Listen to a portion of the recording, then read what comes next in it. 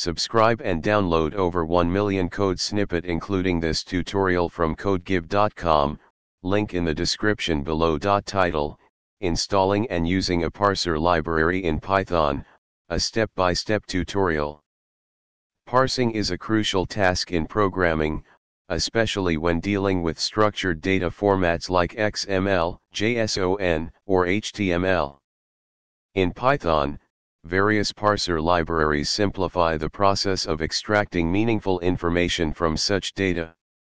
In this tutorial, we will walk through the installation of a popular Python parser library called Beautiful Soup and demonstrate how to use it to parse HTML data. Before we begin, ensure you have Python installed on your system. You can download the latest version of Python from the official website, Python Downloads. Open your terminal or command prompt and use the following command to install Beautiful Soup using pip, the Python package installer. This command fetches the latest version of Beautiful Soup from the Python package index, PyPI, and installs it on your system.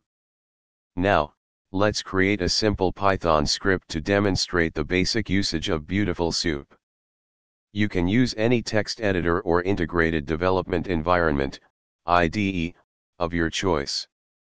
Create a new file, for example, parse underscore example.py and add the following code.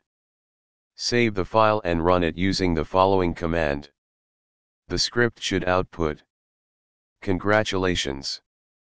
You have successfully installed Beautiful Soup and used it to parse HTML data in Python. In this tutorial, we covered the installation of the Beautiful Soup library and demonstrated a basic example of parsing HTML content. Keep in mind that Beautiful Soup is versatile and can be used for parsing other structured data formats as well. Explore the official documentation, Beautiful Soup documentation, for more advanced features and use cases. ChatGPT